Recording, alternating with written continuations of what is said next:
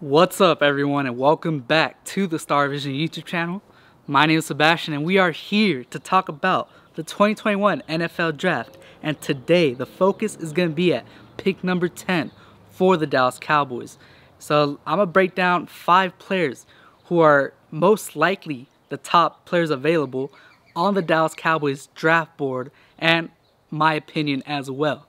So let's get it. At number one, arguably the best prospect in this year's NFL draft, Kyle Pitts, tight end from Florida.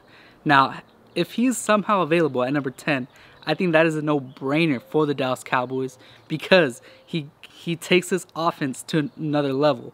At number two on the list, we got the best offensive tackle in this year's draft class, Penei Sewell from Oregon. Now, he'll slide right in there day one at left guard as we mentioned in the other video the other day.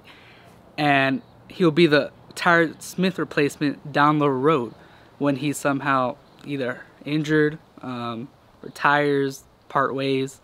You, you get it.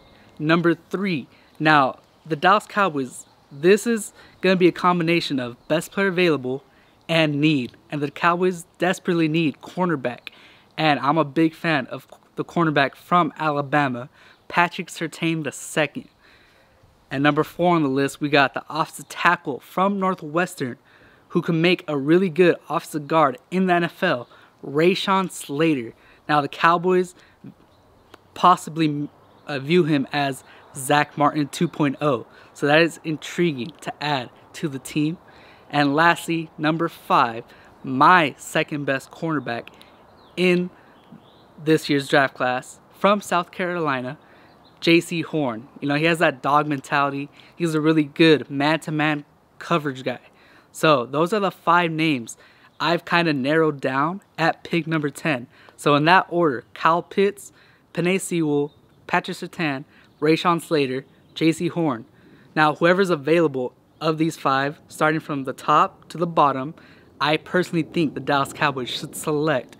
Let me know your thoughts in the comment section below who will be the pick at number 10. And with that being said, stay safe. Peace out.